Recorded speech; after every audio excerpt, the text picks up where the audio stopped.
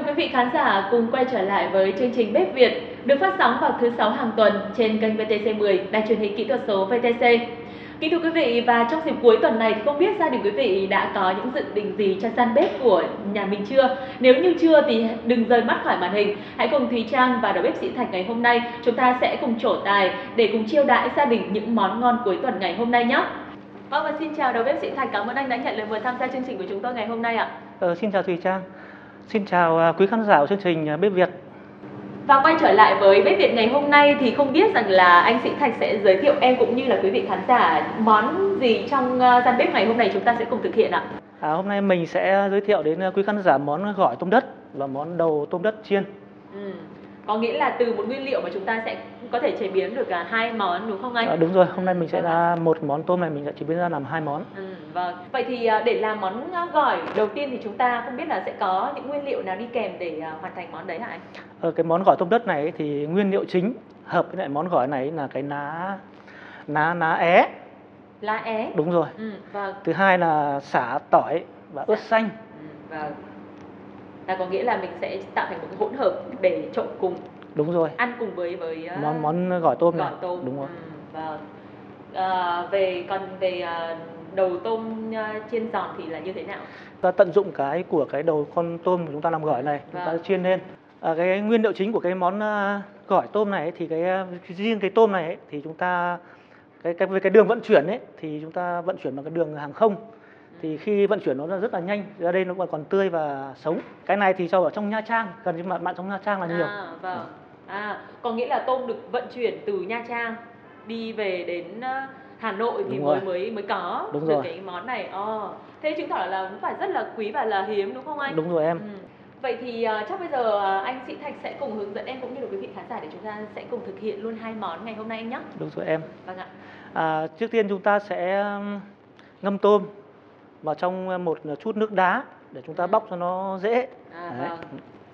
Cho Có nghĩa là với ờ, cái độ tươi của nó thì chắc chắn là nó vẫn đang còn sống đúng, Đúng không ạ? rồi. Thì chúng ta nên ngâm vào nước đá Đúng để rồi. ờ, làm nó ngất tạm Đúng thời rồi, đi đúng, đúng không? rồi. Để chúng ta sẽ dễ sơ chế hơn. Đúng rồi. Chúng ta sẽ tiến hành cắt vỏ đầu tôm nhé.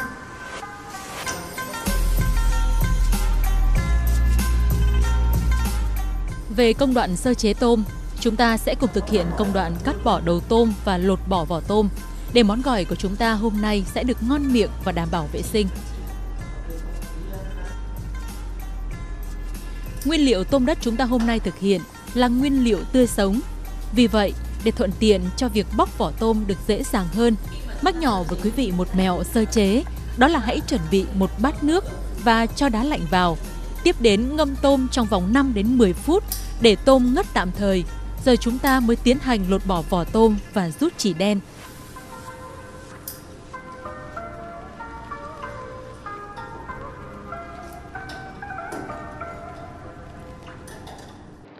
Chúng ta đã sơ chế xong ờ, phần thân tôm và phần đầu tôm là đã tách ra rồi đúng không ạ? Và bây giờ chúng ta sẽ cùng đến công đoạn nào nữa hả anh? À, chúng ta sẽ tiến hành à, khi chúng ta bóc bóc tôm xong rồi đúng không? Chúng ta sẽ tiến hành à, sơ chế tôm nhé. Vâng. Trước tiên là chúng ta lấy một à, non nước soda nhé. À, Chúng ta sẽ à, ngâm qua. ngâm qua cái tôm này nhé, Vâng ạ. để cho nó không bị tanh và nó đảm bảo vệ sinh nhé. Vâng. Ngâm với soda như này chắc là có khi nó sẽ tạo giữ được cái cái cái độ tươi ngon của Thứ tôm, nhất là giữ được cái tươi ngon và độ Ừ. giòn của tôm. Vâng. À, chúng ta ngâm soda trong khoảng độ 1 phút nhé, thì chúng ta tiến hành chúng ta sẽ sơ chế tôm. À, vâng. Đấy. Với một khoảng cái định lượng như thế này thì ờ, chúng ta sẽ ờ, dùng cho được ờ, gia đình khoảng bao nhiêu người ăn hả anh? Một định lượng như thế này thì chúng ta sẽ khoảng độ khoảng 4 đến 5 người ăn. À, 4 đến 5 người ăn. Bây giờ khi chúng ta ngâm soda xong được khoảng tầm 1 phút rồi nhé, thì chúng ta tiến tiến hành à, sơ chế tôm nhé. Chúng ta vớt tôm ra ngoài nhé. À hình như là em cảm thấy được có một cái, cái sự tái nhẹ ở trong con tôm. Đúng rồi. Đúng? Con tôm nó Ờ. sẽ chuyển màu à, chuyển màu nó sẽ trong đi. À, Đấy. nói chung sẽ trong Đúng một chút. Vâng, Chúng ta sẽ chẻ đôi con tôm ra nhé. vâng ạ. À để, để mình ờ, lấy luôn cái ờ, Đúng rồi. cái, cái, cái, Chúng ta sẽ lấy luôn cái phần à, chỉ của tôm tôm này đi nhé. Vòng chỉ đen này đi. Vâng ạ.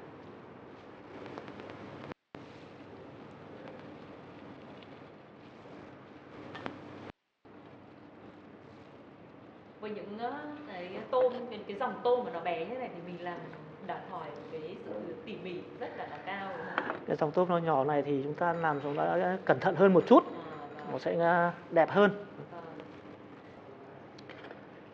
Đấy, khi chúng ta chẻ đôi con tôm chúng ta lấy hết cái phần chỉ rồi đấy chúng ta cắt con à, chúng ta sẽ tiến hành các con tôm này ra tầm độ khoảng 3 đến 4 miếng nhé Ừ. ba đến bốn miếng trên Rồi, một à, trên một con. à mình sẽ phải phải phải cắt nhỏ Đúng ra, rồi, mình cắt nhỏ ra. ờ, miếng to. Đúng rồi mình sẽ cắt nhỏ ra. Tại sao lại phải cắt nhỏ thế hả à, cái món này là món xúc đâm ra chúng ta sẽ phải là cắt À, nhỏ. làm món Đúng xúc rồi, đúng rồi. Có, có, có nghĩa là gỏi nhưng mà Đúng xúc rồi. có nghĩa là mình sẽ có ăn kèm cùng với một cái gì đấy nữa? đúng rồi ăn kèm với cùng với bánh đa xúc em ạ. À ăn kèm cùng với bánh bánh đa xúc ừ. rất là thú vị với những món gỏi như thế này thì rất là phù hợp với những ờ, anh chồng nào mà vào dịp cuối tuần thì sẽ rủ bạn bè về để ờ, ăn nhậu. Tại gia thì cũng rất là ok đúng không đúng anh? rồi em. Món này thì à, món là món hợp với bạn món nhậu ừ, vâng. Tiếp đến công đoạn tiếp theo thì chúng ta sẽ cùng thực hiện ờ, công đoạn gì ạ? à, khi chúng ta thái tôm xong rồi đấy thì chúng ta sẽ tiến hành thái à, rau. À, cái rau này thì chúng ta dùng rau lá é và rau mùi tàu và một chút ớt xanh. Và ít tỏi và ít xả Và, vâng. ok em để chúng ta sẽ tiến hành làm nhé. Chúng ta cũng sẽ chắc là sẽ băm nhỏ ra luôn đúng không anh? Đúng rồi chúng ta toàn bộ cái rau này chúng ta sẽ thái nhỏ ra nhé. Thái nhỏ ra. Đúng rồi.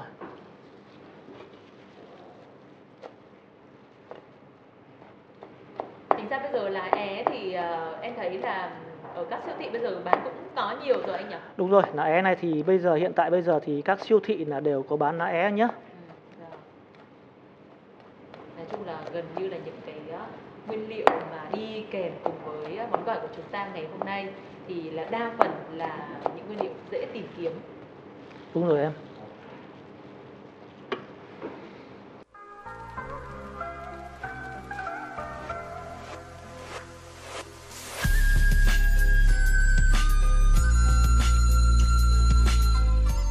Các nguyên liệu rau đi kèm cùng món gỏi tôm đất với định lượng 4 đến 5 lạng tôm cho gia đình 3 đến 4 người ăn bao gồm 10 g lá é, 5 g rau mùi tàu, 20 g xả, 10 g ớt sừng đỏ, 5 g tỏi, 5 g ớt hiểm xanh.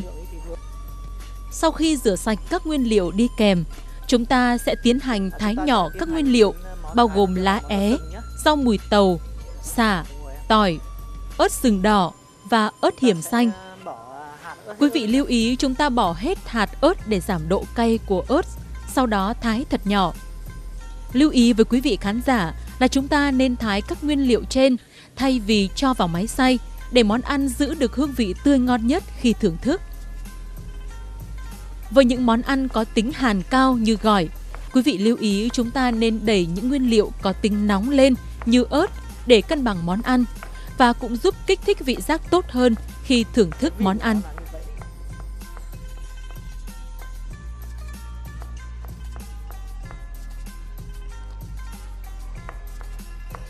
khi nguyên liệu chúng ta sẽ thái nhỏ hết cái này rồi nhá. Vâng. Thì chúng ta sẽ tiến hành à, à, trộn tôm nhá. Trộn tôm. Ừ. ừ, trước vâng. tiên là chúng ta sẽ lấy cái tôm của chúng ta thái rồi này. Chúng ta ngâm qua một chút nước dừa tươi nhá. À, Đấy, ngâm qua nước dừa tươi để làm gì hả anh cái ngâm qua nước dừa tươi này thì thực ra thì nó để cái độ ngọt của nước dừa ấy, nó sẽ à, ngấm mình vào lấy mình lấy cái Đúng độ rồi. ngọt của nước dừa đúng rồi để ngấm vào ngâm vào con tôm. tôm tôm này Ừ. Đấy. chúng ta ngâm độ khoảng 3 đến 4 phút trong à, nước dừa tươi khi tôm chúng ta ngâm được khoảng từ 3 đến 4 phút rồi đúng không Vâng. chúng ta sẽ tiến hành à, vớt tôm ra nhé ừ, vâng là lúc đấy là tôm cũng đã có một cái độ Độ ờ, ngấm nhất định ngấm rồi. nhất định với nước dừa đúng rồi rồi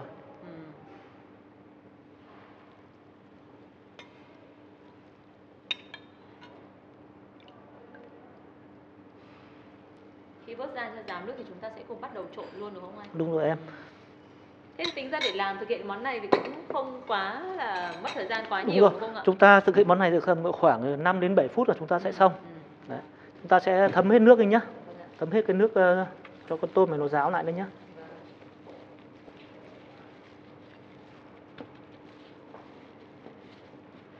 chúng ta sẽ, sẽ thấm cho nó Ráo. con tôm này đi nhá.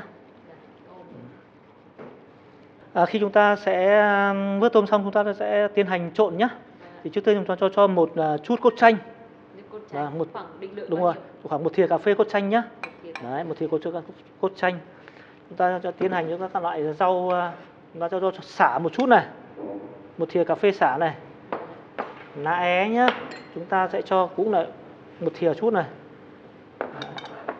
Tiếp đến là chúng ta sẽ cho món ớt xanh nhá Đấy, xanh chúng ta cho khoảng à, nửa thìa thôi. Món môi tàu Sang, đấy, chúng ta sẽ tiến hành cho một à, thìa cà phê nhé đấy. tiếp theo chúng ta sẽ cho một à, chút gia vị nhé Vâng. cho nó đậm đà nhé cho một chút bột canh nhé chúng ta sẽ đảo đều lên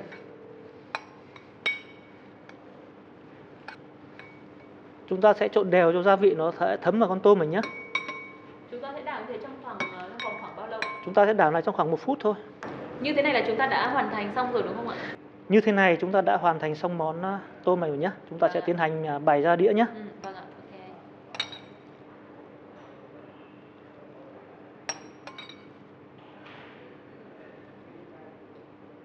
Vậy là chúng ta đã hoàn thành xong món đầu tiên đó chính là món gỏi tôm đất rồi đúng không ạ? Đúng rồi em. Ừ, vâng. Vậy thì bây giờ chúng ta sẽ cùng bắt tay vào thực hiện món tiếp theo luôn anh nhé. Ờ, chúng ta sẽ tiến hành cái món à, đầu tôm chiên nhé. Vâng ạ.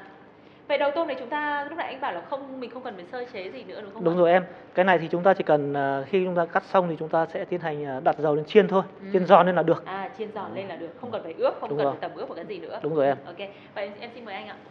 À, bây giờ chúng ta sẽ tiến hành chiên đầu tôm nhé. Vâng ạ. Khi dầu chúng ta đã đạt độ già rồi ấy, thì chúng ta sẽ cho tôm vào nhé. Vâng.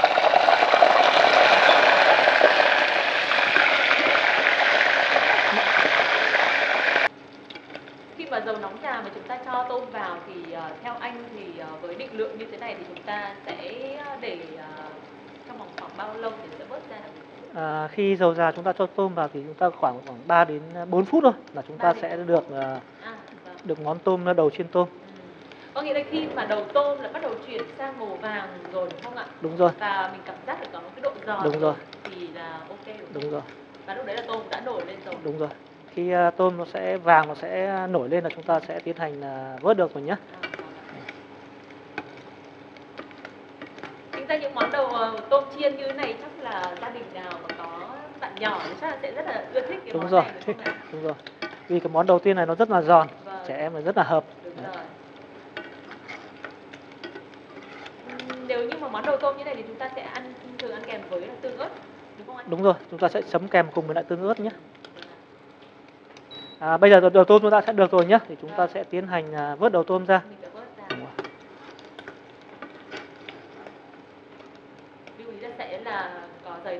Mình sẽ vớt qua. đi đúng không ạ? Đúng rồi, chúng ta sẽ vớt qua giấy thấm dầu nhé. Wow.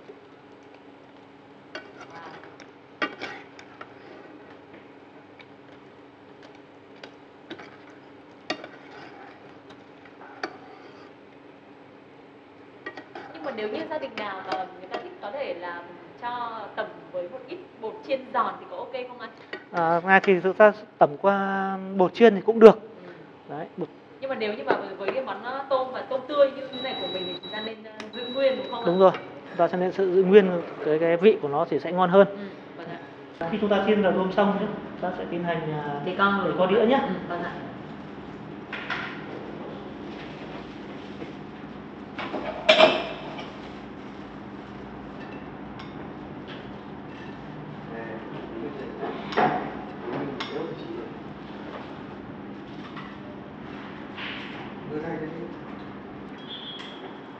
Trên tay em đây đang là đĩa thành phẩm cuối cùng của món đầu tôm chiên. giòn. Vâng. Không biết là cảm quan như thế nào thì là mình sẽ à, đạt một cái thành phẩm nó tốt nhất hả anh? Ờ, khi à, cái đầu tôm chiên của chúng ta ấy thì Vâng. à, cái màu sắc ấy nó sẽ vàng như thế này. Ừ. Đấy thì ăn nó sẽ rất là giòn và Dạ, ngon. Vâng. À, ok. Vậy thì à, hai món của chúng ta ngày hôm nay là món đầu tôm chiên giòn và à, gỏi tôm đất là đã hoàn thành rồi. Vậy thì ngay bây giờ đây em và anh chúng ta sẽ mời quý vị khán giả cùng đi thưởng thức luôn anh nhé. Ờ, ok. Xin mời quý vị khán giả.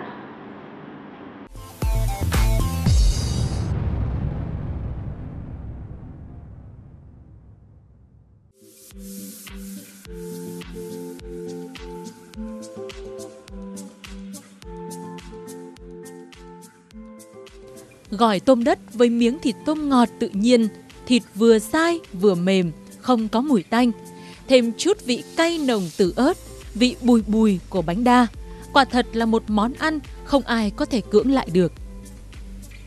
Phần đầu tôm được chiên giòn rụm, béo ngậy, quyện vào chút tương ớt cay cay, kích thích vị giác.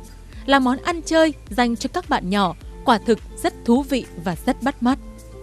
Không giống với những loại tôm biển khác, tôm đất sở hữu thân tròn và ít mùi tanh. Tôm đất có hàm lượng cao protein nhưng không có chất béo bão hòa. Dưỡng chất trong tôm cũng có khả năng làm giảm nguy cơ rối loạn nhịp tim, đồng thời hạn chế sự gia tăng của nồng độ chất béo trung tính. Trong 100 g tôm đất chứa hàm lượng dinh dưỡng 18,4 g đạm, 2,9 g cho, 1.000 microgram canxi, 316 mg kali, 2,2 mg sắt, 74,7 g nước. Giúp ngăn ngừa sự thoái hóa võng mạc, hỗ trợ chức năng cho xương khớp, cải thiện sức khỏe cho não bộ. Còn bây giờ, hãy cùng đi thưởng thức hai món ăn ngày hôm nay thôi nào.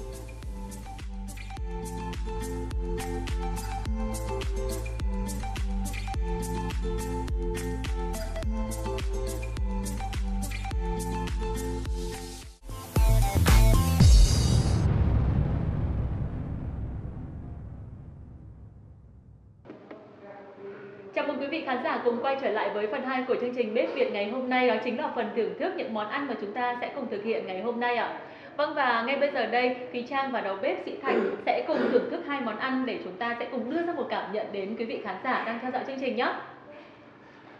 Và món đầu tiên chúng chúng ta sẽ cùng thưởng thức là món gì à, anh Sĩ Thành? Ờ, chúng ta sẽ thưởng thức món đầu tiên là món gỏi tôm đất. Gỏi tôm đất. Đúng rồi. Ừ. Như anh có giới thiệu em cũng như được quý vị khán giả đó chính là chúng ta cùng ăn kèm cùng với bánh đa đúng không Đúng ạ? rồi. À, thường thì à, em chỉ biết đến ví dụ kiểu món bánh đa thì sẽ là à, như là hến xúc bánh đa chẳng hạn đúng không ạ? Đúng rồi. Thì không biết là hôm nay thì cái cái hương vị bánh đa và cái món gỏi tôm như thế này thì không biết là nó có cái hương vị gì. Anh có thể gợi ý một chút xíu trước khi chúng ta thưởng thức được không ạ? Ờ, cái à, món này ấy, món tôm đất này ấy, thì ăn gỏi ấy, cái thứ nhất là cái bánh đa cái cái tôm này ấy, nó Vâng. rất chi là ngọt nó thơm đấy, Ừ. chúng ta ăn kèm với lại bánh đa thì nó rất là bùi và ngậy và béo À, đấy nó à, đúng rồi. Ừ. Ok, vậy thì chắc là bây giờ thôi em không cần anh phải giới thiệu nữa, chúng ta sẽ cùng thưởng thức luôn để cảm nhận xem là có hương vị gì anh nhé. đúng rồi em Dạ vâng. em đi Chúng ta sẽ thưởng thức như thế nào anh nhỉ? ờ, nhất là chúng ta sẽ à, bánh đa này chúng ta sẽ bẻ nhỏ ra nhé Ừ, vâng. chúng ta sẽ xúc cùng với lại à, À, xúc với gỏi gỏi tôm đúng rồi Ừ, đấy vâng. anh mời Chúng ta có Trang. dùng với ờ, ờ, đồ ờ, chấm gì nữa không ạ? À, không cần như thế này thì chúng ta sẽ gia vị chúng ta sẽ làm nó gần như là vừa hết rồi Vừa đủ Đúng hết, rồi, vừa vặn hết rồi, rồi đúng không ạ? đúng. À, ok. Đấy. Em mời em đi Em sẽ thử nhé. Như thế này đúng không anh? Không biết đến này em làm có đúng không? như thế là đúng rồi đấy em ạ À như này Đúng đúng, rồi. không ạ? À dạ vâng. Em mời anh ạ. Ờ, Xin mời quý vị khán giả.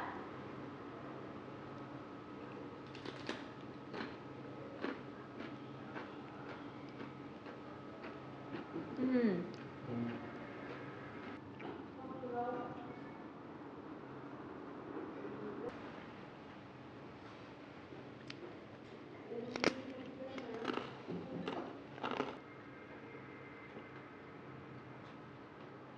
Ừm. Wow. Một sự kết hợp vô cùng độc đáo và mới lạ ở cái món ăn này luôn đấy anh ạ. À, đầu tiên là em cảm nhận đương nhiên là vị tôm thì nó đã nó nó nó rất là tươi này, nó ngọt và nó cũng mềm nữa và hòa cùng với đó chính là những cái nguyên liệu đó, đó chính là lá Lá é. lá é các kiểu đúng không anh? Đúng rồi. Thì tạo nên một, một cái hương vị nó vô cùng là tuyệt vời và em cảm nhận là hình như là món ăn này nó phải có một cái độ cay cay cay cay hơn bình thường một xíu đúng, đúng không rồi anh? đúng rồi em Ờ, tại sao lại thế hả? vì cái à, bản thân con tôm này ấy, Ừ, vâng. thì nó là tôm à, tự nhiên Ừ. đấy à, cái vị cay này và vị à, hơi chua chua này Ừ. nó đấy, nó sẽ đẩy cái vị giác của chúng ta À, lên rất là nhiều Kích thích cái vị Đúng giác rồi, của mình đúng lên. À, đúng rồi. À, như cái lúc mà chúng ta thực hiện món ăn ấy thì em có chia sẻ đó chính là với món gỏi như này chắc chắn là các ông chồng ở các gia đình để mà để tụ tập bạn bè thì cực kỳ hợp lý luôn đúng không anh? đúng rồi em Ừ, cái này vâng. thì hợp với lại à, các ông xã nhiều hơn À đúng rồi thêm nữa thêm một phần nhận xét và thêm một điểm cộng cho món ăn này đó chính là chúng ta sử dụng thêm phần bánh đa.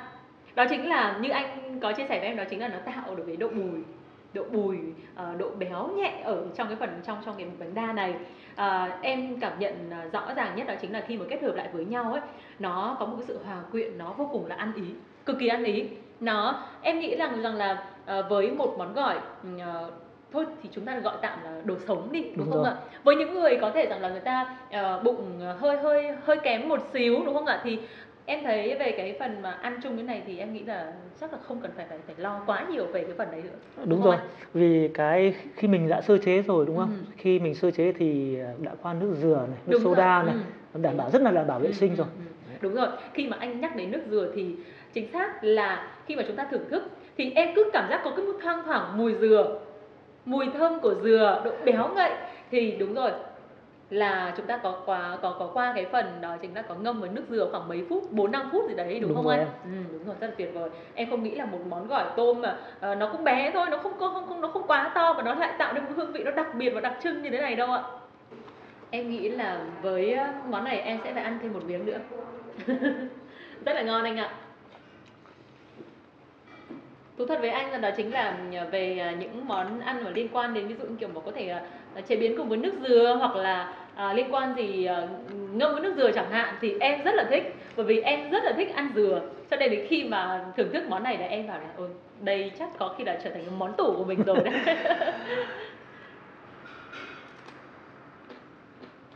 Đấy uhm. rất ngon anh ơi em muốn hỏi một chút là với món gỏi như thế này thì à, hình như là mình cần phải làm cay một xíu để à, là nó trung hòa được cái cái cái vị hàn tính hàn ở trong nó đúng không anh đúng rồi em ừ. vì cái um, bản thân tôm ừ. tôm tươi này ấy, vâng. là vị lạnh đấy thì chúng ta để đẩy vị nóng lên một chút nữa để cho ừ. nó dung hòa với lại cái à, món như thế này ừ, ừ, đúng rồi ừ. Ờ, đây là một cái lưu ý mà khi mà nếu như mà quý vị mà chúng ta có thực hiện à, tự thực hiện món này ở nhà thì chúng ta nên à, lưu ý đó chính là với những món gỏi thì chúng ta nên đẩy những cái hương vị những cái vị nóng lên Đúng một một chút xíu nữa để nó trung hòa để làm cho à, ví dụ có thể rằng là trong gia đình mà có ai mà hệ tiêu hóa nó hơi kém một một chút thì vẫn có thể thưởng thức được đúng, đúng không rồi, anh? Đúng rồi em. Ừ, vâng ạ. Thùy Trang dùng thử món đầu tôm chiên giòn này đi. Ừ. Khi chúng ta sử dụng cái ờ, gỏi này rồi ấy, vâng. thì có vị mềm, vị ngọt, vị dai. À, vâng. Đấy thì chúng ta sẽ ăn à, cùng với lại món đầu chiên này ừ. thì chúng ta sẽ kết hợp với lại vị giòn, à. vị ngậy của đầu tôm này. À. Đấy, nó rất là ngon. Ok ok. Bởi vì thực chất là từ đây, là phần thân thân tôm, Đúng còn rồi. đây là đầu tôm. Đúng gần rồi. như là chúng ta cùng được thưởng thức trọn vẹn hết cả một cái cái thành phẩm đó chính là một con tôm luôn đúng, đúng rồi, không đúng anh? Rồi, em. vâng. Em mời anh ạ.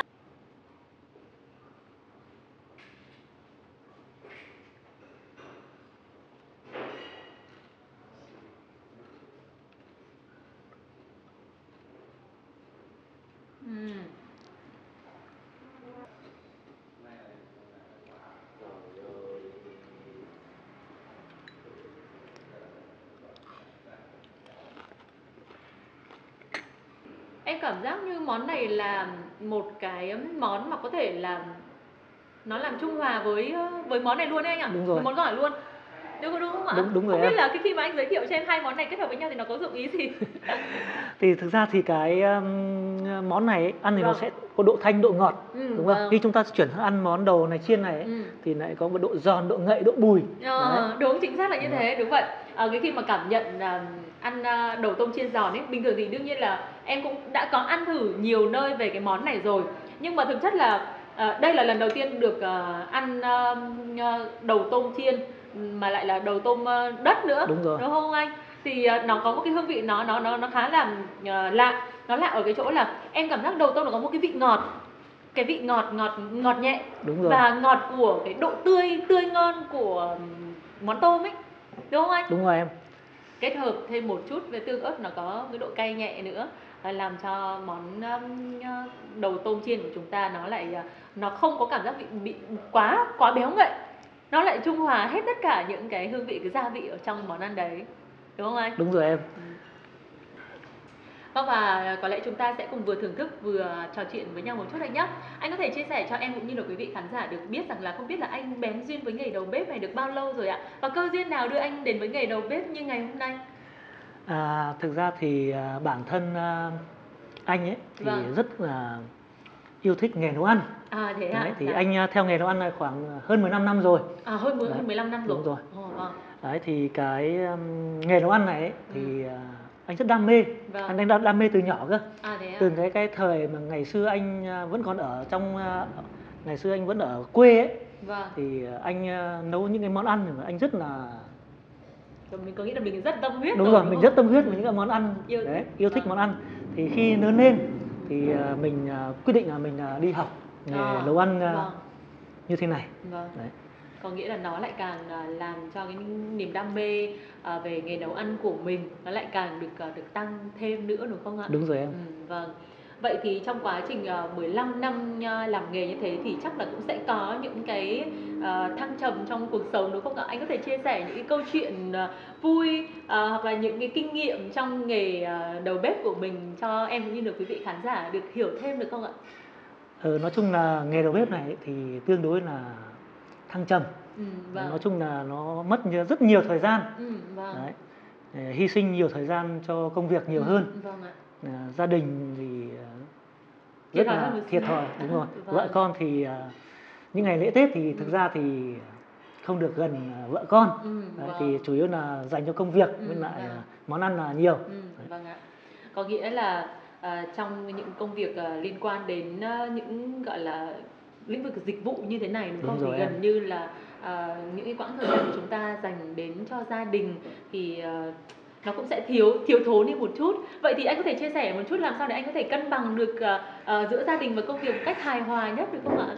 À, ví dụ như là những ngày lễ tết ấy Vâng. thì thường là nghề dịch vụ nấu ăn này thì bọn anh là không được nghỉ nhiều Ừ, thế thì vâng. thôi thì cứ qua những ngày lễ tết thì mình lại tranh thủ đưa vợ con à, À, đi đúng rồi. à, đi, Đi- đi, đi chơi sau đúng đúng, rồi. rồi đi sau lễ Vâng vâng, có nghĩa là mình bù đắp vào những Đúng cái rồi. khoảng thời gian mà à, thôi thì bây giờ mình không có đi vào những cái ngày lễ, ngày ngày Tết nữa thì chúng ta sẽ cùng dành thời gian cho nhau vào những cái dịp nó rảnh rang hơn, có nhiều thời gian hơn đúng không ạ? À, đúng rồi em Ờ, vâng, vâng cũng rất là tuyệt vời và có lẽ à, trong mỗi lĩnh vực, mỗi công việc thì đều có những cái thăng trầm riêng đúng không anh? Đúng rồi đều em. có những khó khăn, có những vất vả thì không biết là đến bây giờ thì à, à, qua 15 năm làm nghề thì à, anh đã gặt hái cho mình được những cái thành tựu gì à, trong cuộc sống rồi ạ? À, nói chung là về cái gặt hái thành tựu thì cũng không được nhiều lắm Ừ, vâng. nhưng mà à, cái tâm huyết của mình bỏ ra ấy, Ừ. thì à, mình sẽ được à, khách hàng ừ, à, nhớ đến nhiều hơn Vâng. khi sử dụng dịch vụ của mình à, làm ra Ờ, đấy, ví dụ như là những món ăn như ngày hôm nay vâng, đấy vâng. thì à, đấy là một cái niềm vui một niềm hân hạnh Ừ, đối với đối với khán giả dành cho mình vâng. đấy có nghĩa đối với tất cả các ờ, khách hàng khi mà có sử dụng những món ăn của của của mình do anh sáng tạo và những công thức mà anh dành riêng đúng không ạ? Đúng thì em. tất cả đều được đón nhận một cách hoàn hảo nhất và đều đều được khách hàng phản hồi một cách rất là tích cực đúng không anh? đúng rồi Ừ, vâng ạ. Vâng và có lẽ câu chuyện mà anh Sĩ Thạch chia sẻ cho em cũng như là quý vị khán giả cũng là một trong những nỗi niềm và cũng là à, những cái sự thành công nhất định mà hiện tại đến bây giờ thì anh cũng đã gặt hái được sau 15 năm. Và xin được thay mặt cho khán giả đang theo dõi chương trình Bếp Việt, xin được chúc anh à, thật nhiều sức khỏe và trong sự nghiệp tiếp theo thì chúng ta cần phải có những cái sự cố gắng và à, cái sự à, đón nhận tích cực hơn nữa từ à, tất cả các khách hàng sẽ sử dụng những món ăn của anh do anh sáng tác ra. à, xin cảm ơn Thùy Trang à, xin cảm ơn quý vị khán giả đã theo dõi chương trình bếp Việt ạ Vâng ạ, à, một lần nữa xin được chân thành cảm ơn anh. Vâng và kính thưa quý vị, à, những chia sẻ vừa rồi của đầu bếp Sĩ Thạch cũng đã thay cho lời kết của chương trình Bếp Việt ngày hôm nay. Và thời lượng ngày hôm nay cũng xin phép được khép lại tại đây. Cảm ơn quý vị đã dành thời gian quan tâm theo dõi. Xin kính chào và hẹn gặp lại.